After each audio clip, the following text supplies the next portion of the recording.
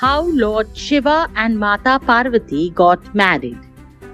After the death of Devi Sati, Lord Shiva sat in deep meditation.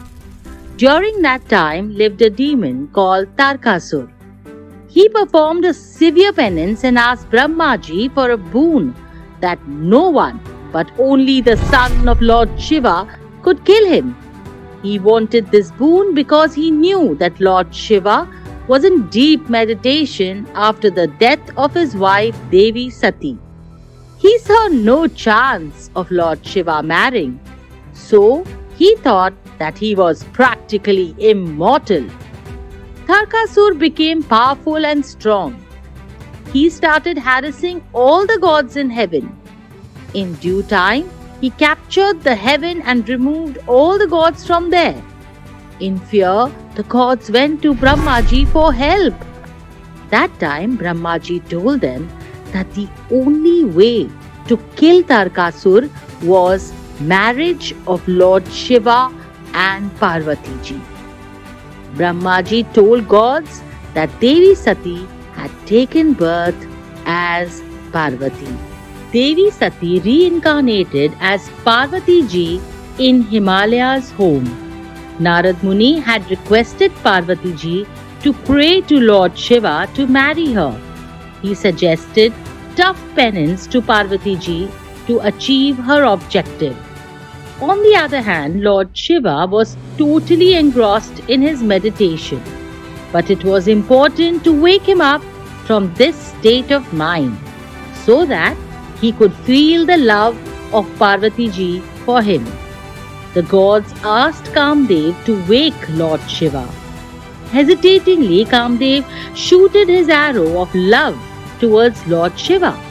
The arrow woke Lord Shiva from his deep meditation and that made him very angry. As soon as he realized that Kamdev was the one to wake him up, he then and there burned Kamdev to ashes with his third eye.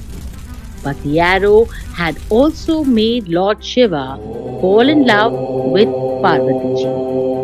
To test Parvati Ji's love, Lord Shiva disguised himself and went to meet Parvati Ji. He tried to coax Parvati Ji to not marry Lord Shiva, giving reasons that Lord Shiva lived in cremation grounds and his followers were ghosts and vampires. He told her that it would be better if she married Lord Vishnu instead. But Parvati Ji was determined to marry Lord Shiva.